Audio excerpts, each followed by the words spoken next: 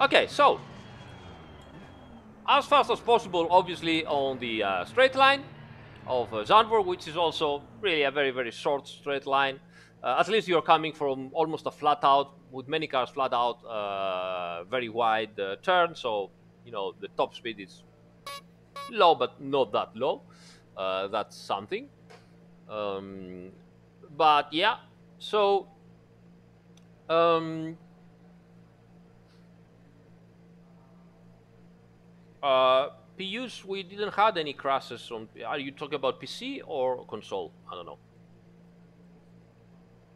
Okay, you can see the mouse, very good. So, you're arriving at full speed, uh, and your first uh, reference point to start braking is either this billboard here, you know, Tarzan for the famous uh, T1, and uh, either that or this line, white line and red line on the asphalt. It's uh, very, very good. Uh, you see, you, practically you have a specific place where you can start braking. Now, getting better and better and better, you will start braking a little bit later uh, than um, than this uh, line. Uh, but you know, for starters, just go with with this line, and you should be you should be fine.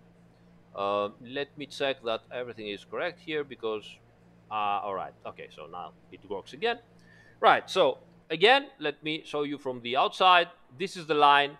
As soon as you go over the line with your car, uh, or even a little bit sooner at the start of, uh, of your laps when you are exploring your car and your circuit, uh, this is the place to start braking uh, uh, for the T1. Right, so um, as wide as possible, as usual. Okay.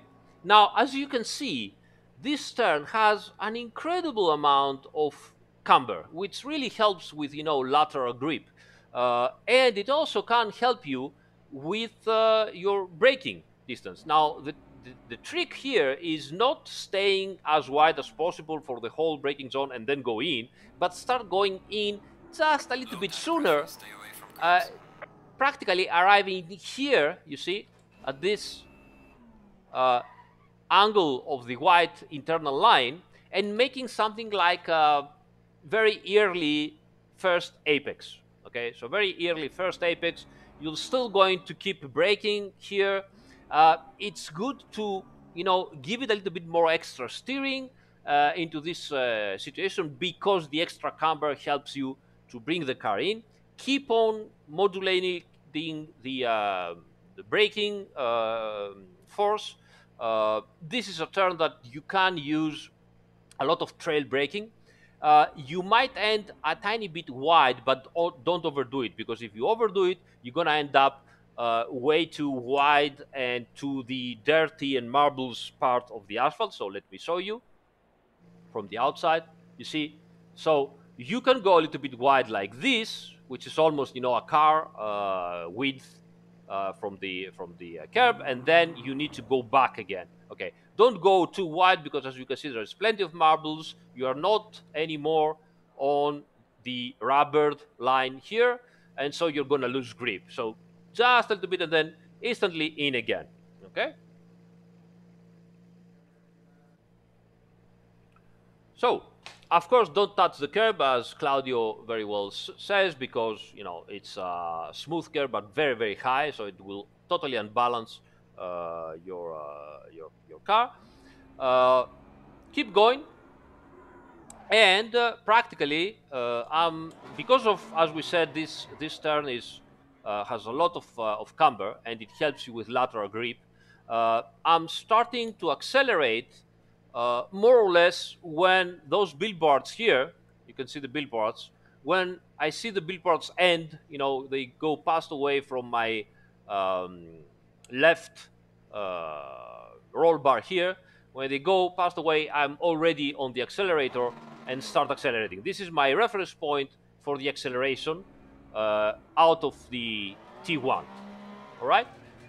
Now T1, you can also use this uh, uh, this curve at the exit. Don't go too wide because as you see, it narrows more and more, and uh, outside the uh, curb you have sand, which obviously it's gonna unbalance the car, but most importantly will slow you down. Uh, it's not a good thing to go there. Um, so stay careful, don't go over there, and get into the uh, asphalt as soon as possible. Onto the asphalt. Again, following the circuit here is no big deal. And now we approach this really hard T3, they call it, because this one also they call it T2, but so it's the third uh, uh, bend of the circuit. Now, when to start braking for this uh, bend? Uh, you can see here there's no real um, uh, there's no real reference point here. There's no easy uh, reference point because um, normally you should start braking somewhere here but there's no real reference point. So what you want to do is keep an eye on the end of the curb here and brake before that, right before that. Now, obviously, some of you people might say, well, I will start braking somewhere around here where I see uh, the rubber line starting, you know, uh, being visible.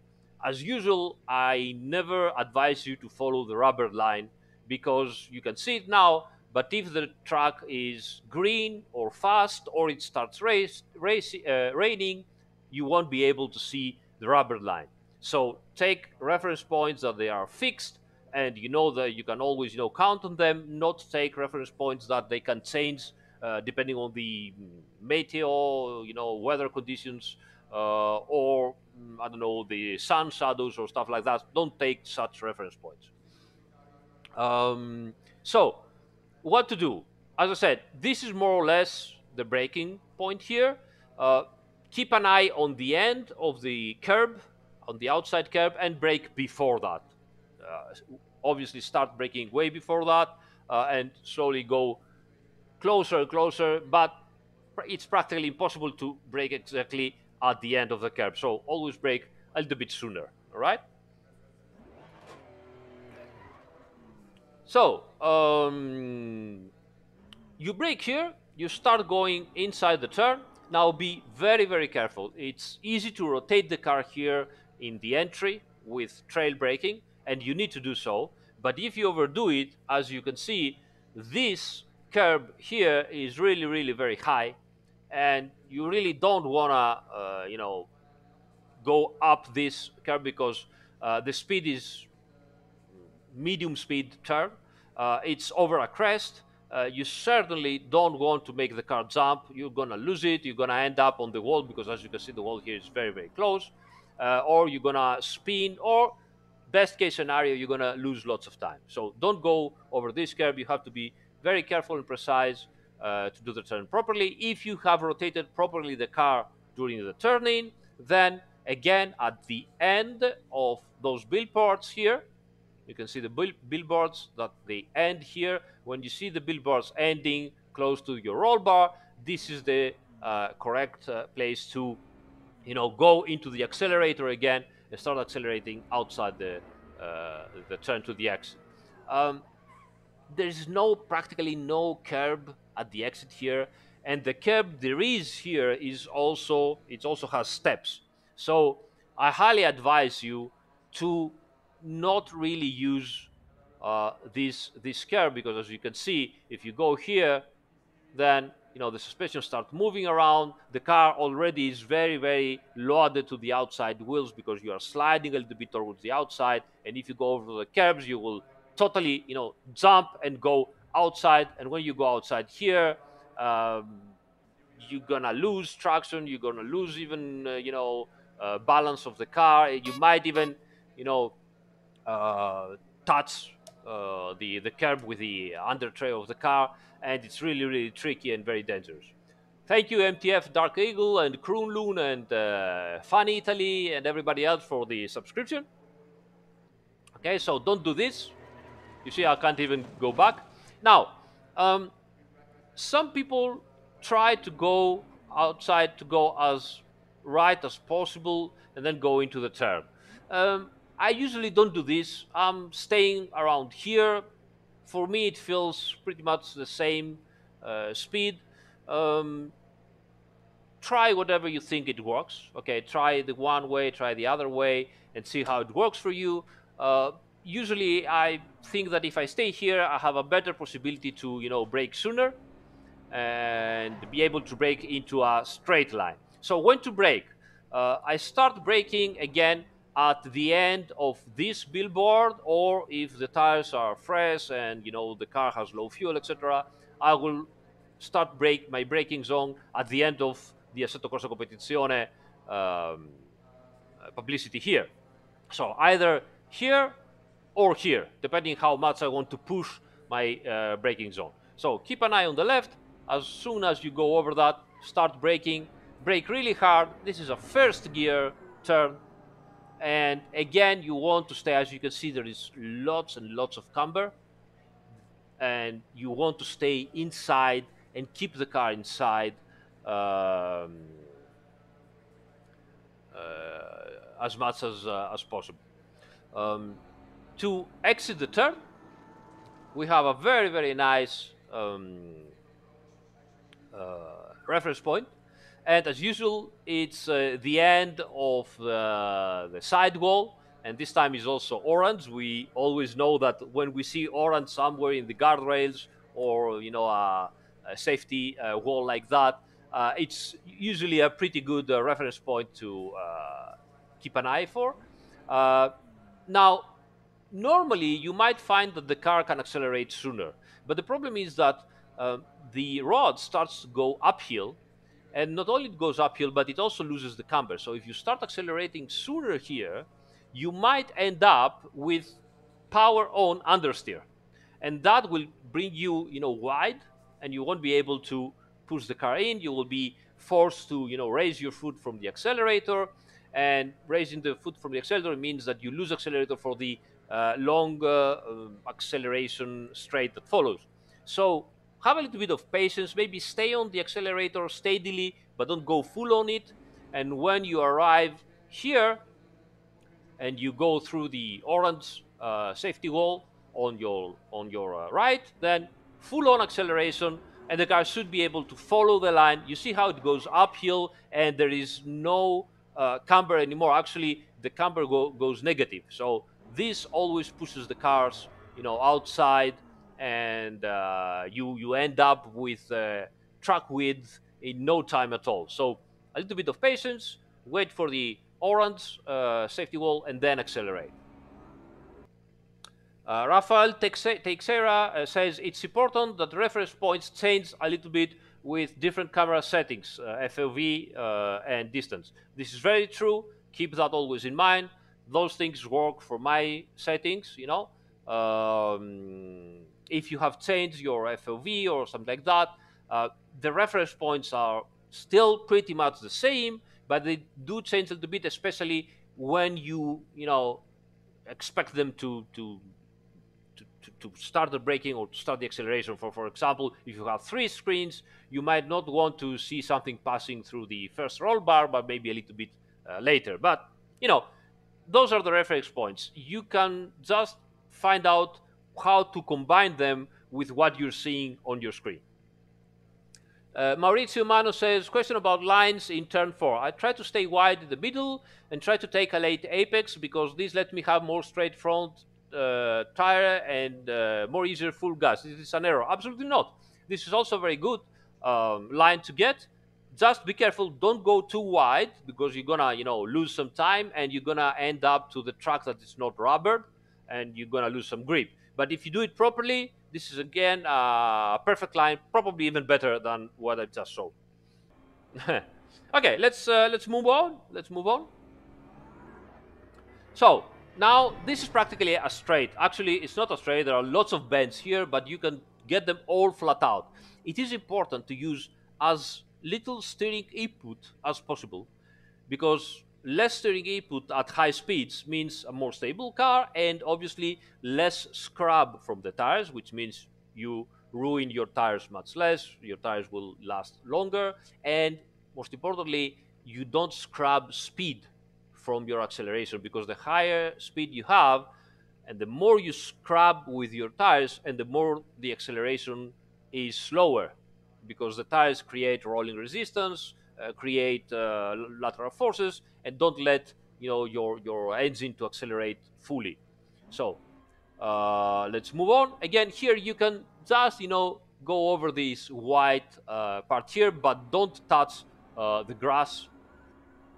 stay as sorry, stay as uh, right as possible, and then again as little steering input as possible and go in. This is one of the first tricky corners. is not really tricky. You can easily do it flat out. Okay, but the less steering wheel you're using, as we said, less consumption on your tires and more um, acceleration you have. It is also very, very important to do this turn and uh, stay, you know, as left as possible because the next turn is a tricky turn. Uh, and it is a tricky turn because uh, you really need to get the perfect line out of this turn. Uh, I advise you to go and uh, watch my uh, today uh, my, my, live stream from the last Friday or the video that I've posted today where we did some fast laps into the circuit. Um, you need to take this line perfectly. Usually uh, the perfect line is somewhere around here when you are just touch, you know, this uh, curb uh, at your right. Okay, so let's have a look at that. You see, I'm already touching way too much. You, you have to, even less than this, okay, even less than this. Just touch it, and uh, you really need to approach this. You see here, now, this um, uh, this bump that we just went through, which is quite a big bump, all right? You can see here again, boom. You see this one? Now, this bump here can really, really unbalance your car, especially if your car is a little bit soft and touches the ground when you are passing through this at over 200 kilometers per hour. You are still turning, you are going over a crest, and while you're doing so, the car touches the ground. This is very bad. So obviously you're going to say, what is that? Is that a bug because it's so big? No, this is actually, you know, a proper uh, bump on the real uh, road. Uh, David Perel gave us lots of um, feedback about that. He actually told us, uh, you know, when when you are going over that bump, you think that the whole car is going to explode because it's so hard and you are going so fast over it and you have so much downforce pushing down that the car goes over and it's like bomb and everything. I mean, it's it's really a terrible sensation, and you have to, you know, put your keep your your your foot on on the accelerator and keep on going flat out, and you can see, you know, the road uh, going uphill and then over the crest and downhill again, and it really is very very scary, especially when it rains. So you have to go over that with as little steering input as possible stable car, not having the car, you know, sliding around. And if you do everything correctly, you're gonna end up here very, very wide. This outside curb is where you want to have your, your uh, vision pointed, looking forward and uh, way ahead from behind while you're still, you know, turning. And then you want to have your car practically straight and your steering also straight while you're starting starting going down downhill. All right. So you're starting going downhill, and now it's getting even more trickier than before. Um, so again, the end of roll of uh, guardrail here, orange painted. It's our friend. This is your reference point. You are going past through this, and you start braking in. Uh, fifth uh, gear or fourth fourth gear, I don't remember right now, and you want to you know downshift when you are getting more and better, uh, you have more practice with your car and this uh, truck. Uh, you will start, you know, braking after that uh, orange guardrail. This side road is also a very good um, reference point. Uh, I'm not telling you to start braking on this side road, but at least a little bit behind it, right? But between the orange end of the guardrail and that side road, that's the perfect place to start braking really heavy at first and then really modulating your steering wheel and your braking force. You know, you have to really modulate them because this is a very, very high speed turn. it is going downhill. We know that those cars are extremely pitch sensitive, so the car will start, you know, moving around. So you need a setup that will support you. It doesn't go instantly into an oversteer because it's too much pitch sensitive. And you also want smooth uh, steering inputs to initiate the rotation, the turn in, and you also want very fast steering inputs if you feel that the car is going way too much out of balance, so you need to, you know, counter steer and go back again as fast as possible. Remember, when you are counter steering for oversteer, don't wait for the car to get a set and then go back again. It's too late. It's gonna slap you and you're gonna end up on the other side. So you go in like that, okay? The car starts rotating way too much, so you need to counter steer. You counter steer and instantly going back again. And again, if it's if it needs a second time, it's better than you know just going there and waiting. Okay, okay, okay. I'm sliding, waiting, waiting, waiting. Okay, now I have grip again. Let's move. Way too late. Slaps and you go to the other side. So that's why you see also real drivers that they are doing stuff like like that. Okay, and you say, why did he did that? I mean, I didn't see any movement. They do this because they know the car starts rotating. You feel it also. Okay, counter steer and go back again. Counter steer and go back again. Very fast. You don't have to wait. What you're doing when you're doing fast is you are moving ahead of what the car is going to do. Don't wait for the car for the car to do the, its stuff, but move ahead of the car, right? Okay, so still we're still braking here. We're going inside the turn. Usually the brake is more or less up to this point where you can see here this semaphore for the uh, yellow uh, flags or something like that. Uh, so usually you, you, you keep braking and you know dosing and modulating your brake brake force up to the semaphore. Then you have some phase that you are coasting, and while you are approaching the uh, curb here, before, after it, depends on your car setup, your practice, your driving style, whatever. Uh, this is where you want to go on the accelerator hard, uh, and possibly the car will help you, will rotate a little bit with power, and you're going to end up here. Once again, don't go very wide because as you can see, uh, the curb is stepped, which means the tires will start, you know, hopping and uh, jumping, and it very, very brutally ends uh, the curb here. So you really need to stay up to the white line and not farther away. Uh, sometimes you need to go over that, but you know, be prepared.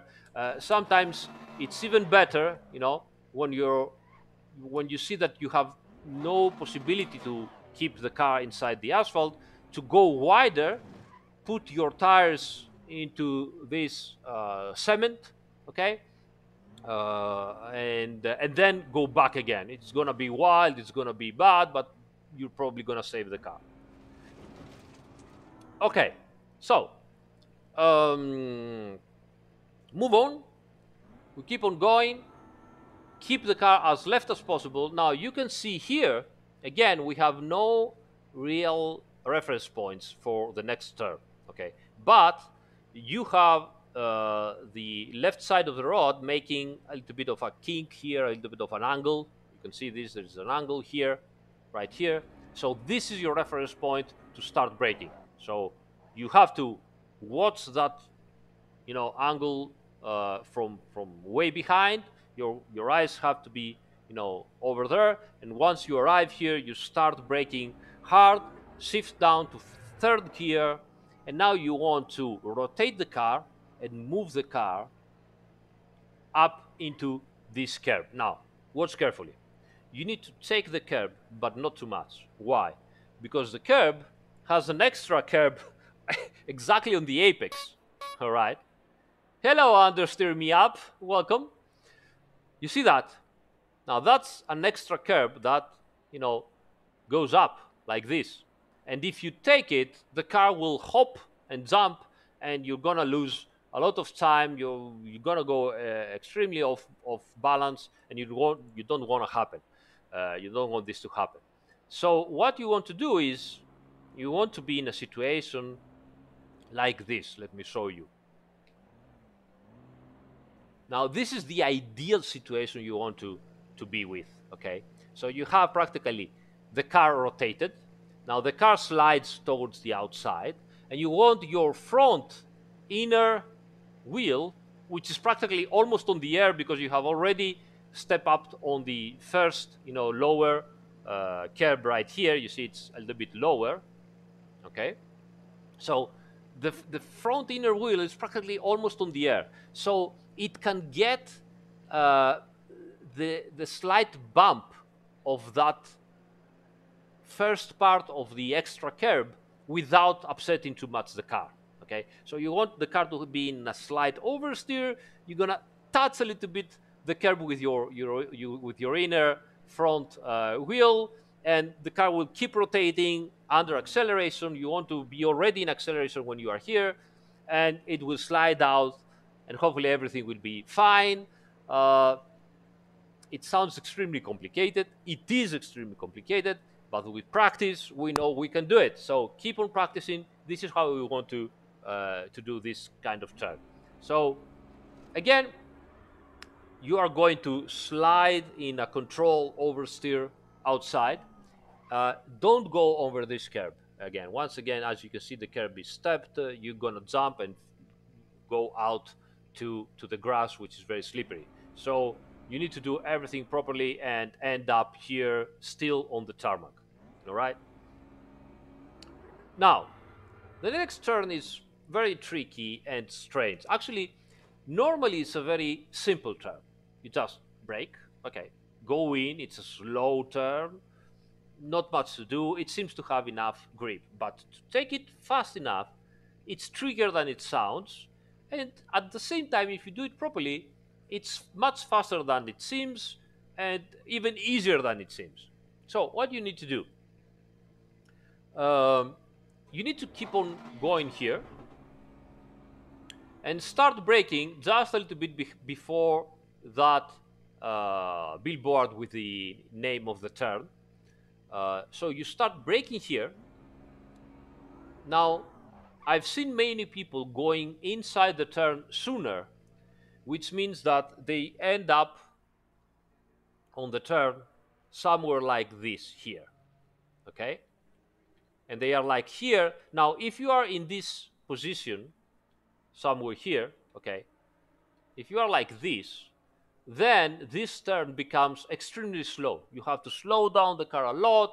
While slowing down, you have to brake, so there's lots of understeer going in, and you have to be slower and slower and slower. And either they manage to slow the car and they are very slow at the apex, or they just, you know, slide with understeer to the outside, and then they have to wait before rotating the car and going out again.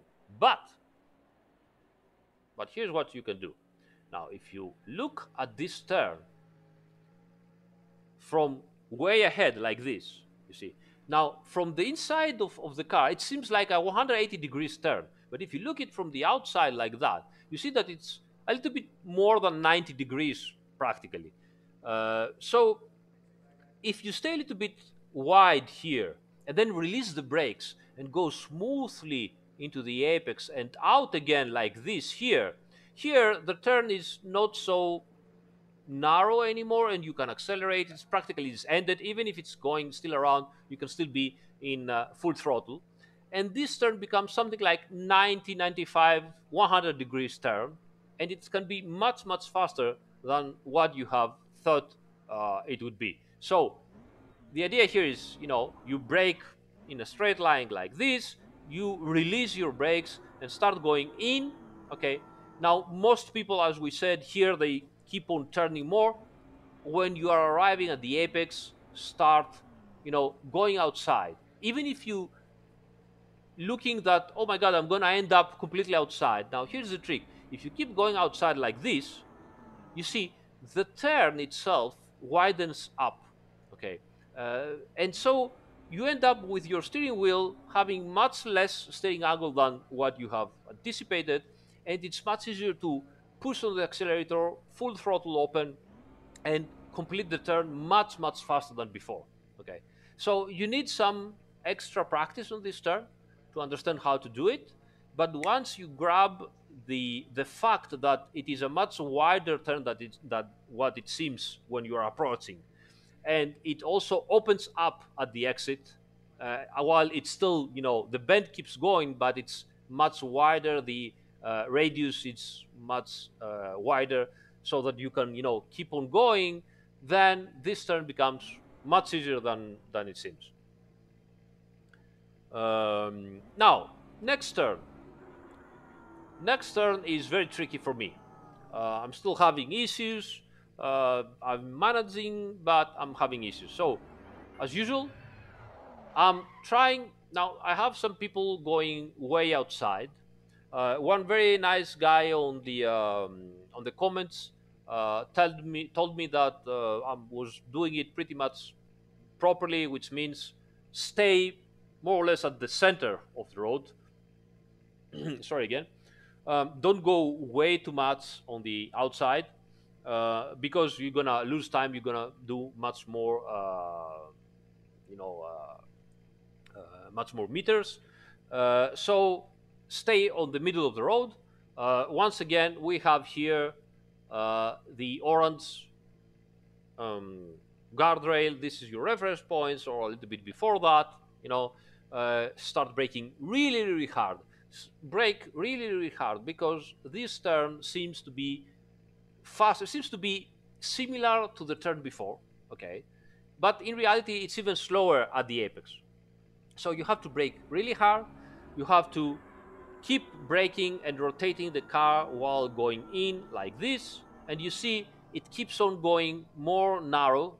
So you really have to be patient here. Right here, you have to be patient. Don't, don't go the accelerator because if you go on the accelerator, first of all, the camber is strange, and two things are going to happen. Or you're going to have big understeer, and you're going to end up so wide that you will either either be forced, you know, to release your uh, pressure on the accelerator, and you're losing time, uh, or you're going to end up, you know, outside on the grass.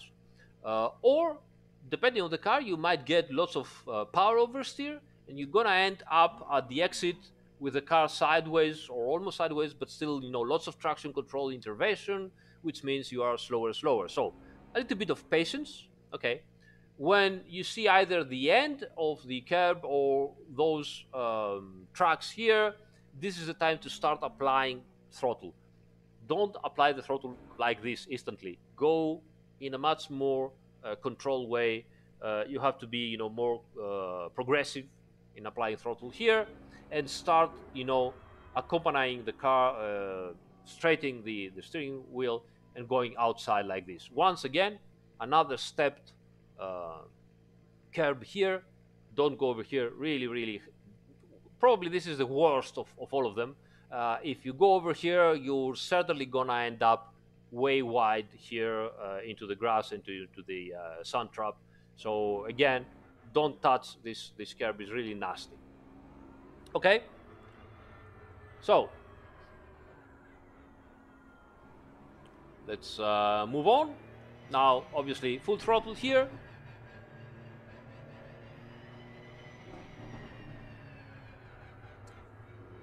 Full throttle. Now, first indication that you are arriving at the chicane is straight, the first line. We don't want to do anything at all into this uh, line yet. So full throttle again. Second line, this is where you should start considering braking. Uh, if it is the first times that you are you know practicing on the circuit, then start braking exactly at the white line. The better you you become, the more you see that you can you know start braking much much later, even just before the start of the curb. But to do so, you need to become more precise on entering the first part of the narrow chicane here.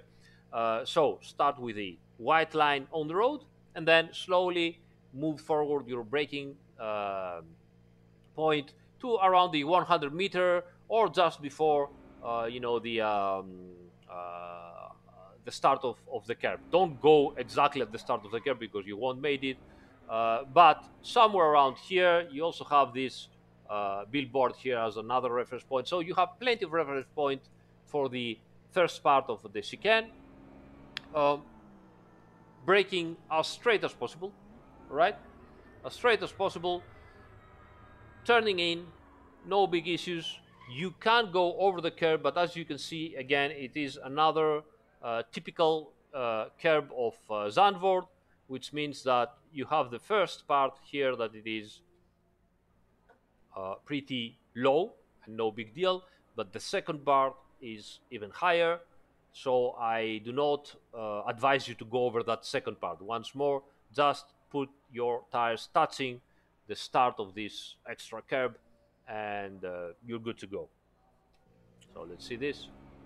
Just go over here, over the first part of the curb, touching the second one, and as soon as you are here, your foot can go on the accelerator again, hard, accelerate just a little bit. You know, there's no much space, but you can really go hard with the accelerator and then again instantly hard on the brake again, and you're ready for the next part.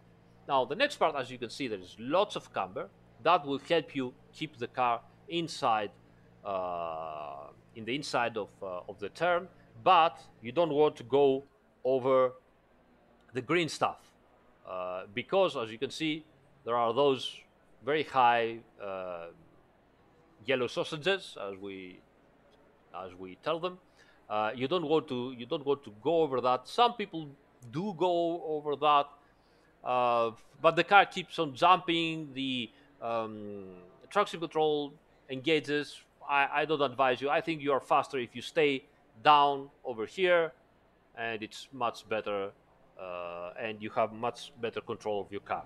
So stay here, stay close, uh, and as you see, either the end of the billboard or the orange guardrail depends again on your line, your setup, your car, many, many uh, things to consider, but your reference point must be either this one or this one. As soon as you go over this one or the uh, orange guardrail, you start accelerating or here, for example, you start accelerating and you should be good to go outside without big deal. Now, this is a tricky um, uh, curve. Now, as you can see, it's smooth. It's a pretty smooth curve, but this uh, strange curve is uh, actually like a a triangle, a, a pyramid, pyramid, something like that. Okay, it's it's like this, which means that uh, either you really go outside, you know, like this.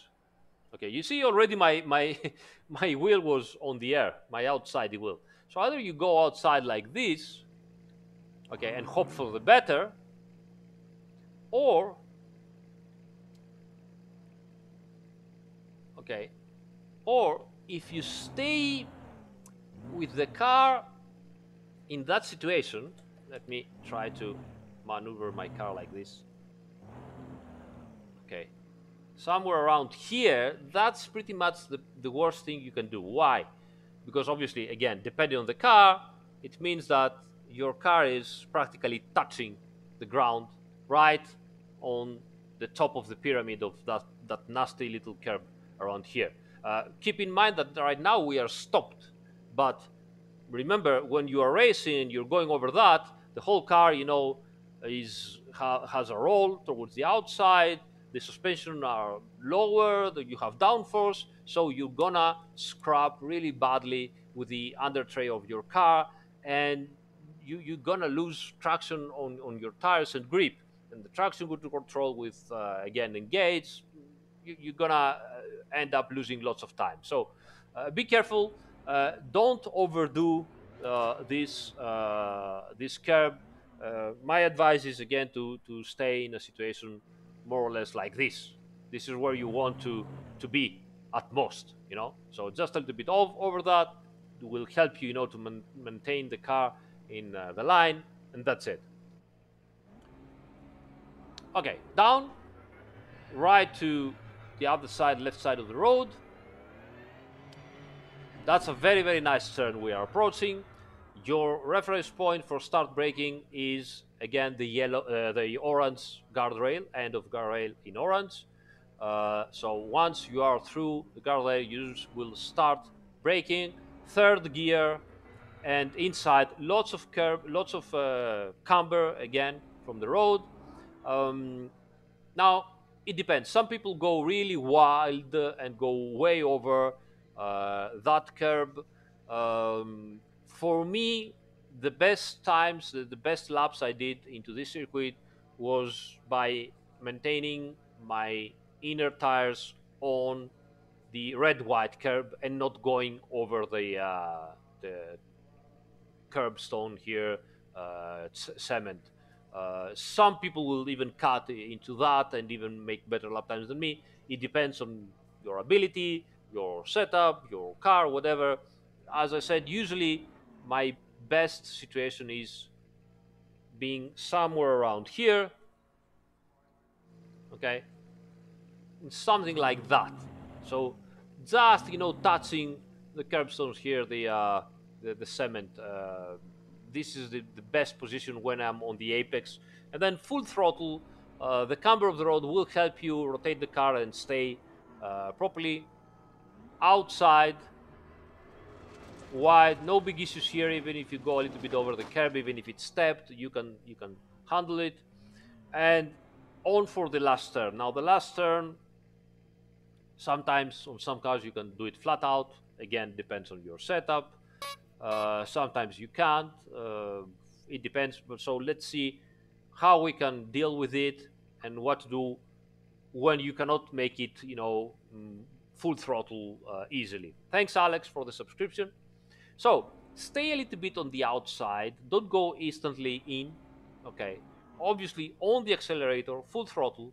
Now start turning just a tiny bit later. Don't, don't go instantly in the inside because if you end up here, then you really have to lift off. You need to go in just a little bit later and you need to be on the apex around here at the start of uh, of the curb.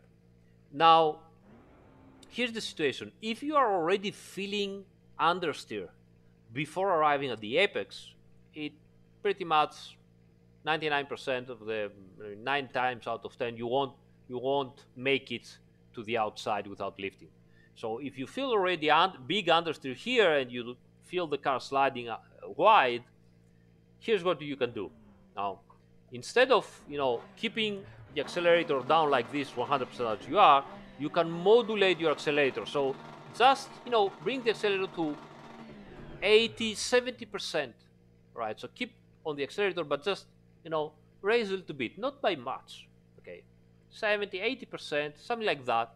This will help the car, you know, re regain a little bit of pitch forward and not having, you know, the nose raised up.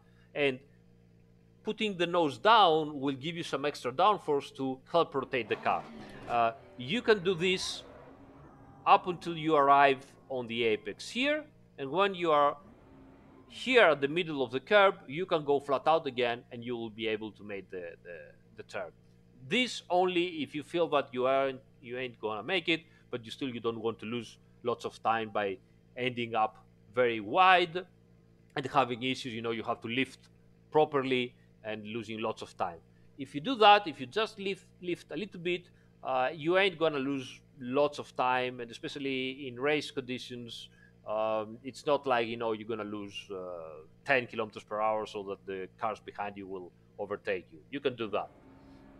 And you know, once you feel the car properly rotated, just step on it, take the car outside, and that's it. That is uh, a lap at uh, Zandvoort. Uh, we have our reference points, we have our lines, and uh, I hope that uh, you liked it and hopefully it will be useful for, for you to, to get better into this pretty tricky circuit, one of the most difficult circuits, uh, especially to race because it never leaves you with, you know, sometimes to breathe and relax. And um, you are always turning, controlling, braking, accelerating, you're always doing something. And even at the main straight line, it's so short that you don't really have any time to, to, to relax into this uh, circuit.